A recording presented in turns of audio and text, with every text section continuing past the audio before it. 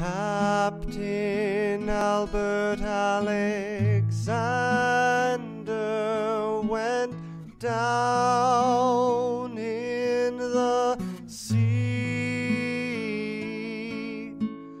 Captain Albert Alexander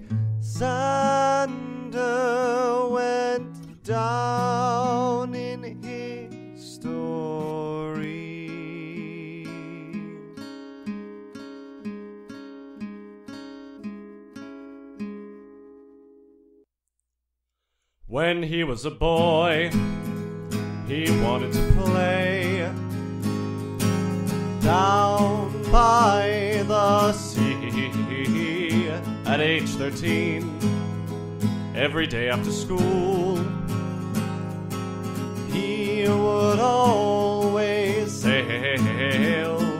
around the lake. All the people would stand and stare as he sailed around with precision and care. His bicorne hat and the way he would stand, he looked just like a navy man. All the townsfolk gathered and sang and sang away Captain Albert Alexander to be a brave seafarer someday. But that Captain Albert Alexander go down in the waves by age 24. He had left the shore and was sailing for the Queen on a dark, starry night. Albert awoke to the sound of his captain screaming as he was drowned. The Navy crew was taking a lick. Pirates had invaded the ship, but Albert, with one aimed harpoon, ignited their rum with a spark, and soon flames drove the pirates away. The Navy sang Captain Albert Alexander saved his crew from pirate slaughter. But that Captain Albert Alexander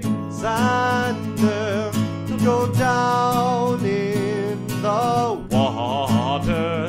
Twenty some odd years later, on his ship to see Slater, he sailed into a mass of blubber, gazing up to the sky. Stood a large walrus that was a hundred stories high. It meant no harm, though walrus was in a great deal of pain. It suffered from a tusk with tooth decay. Albert threw his anchor around its tusk with a little bit of pulling. It was out by dusk. The walrus thanked Albert and sang as he sailed away. Captain Albert Alexander,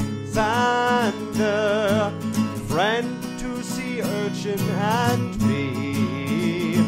But that Captain Albert Alexander will go down in the sea.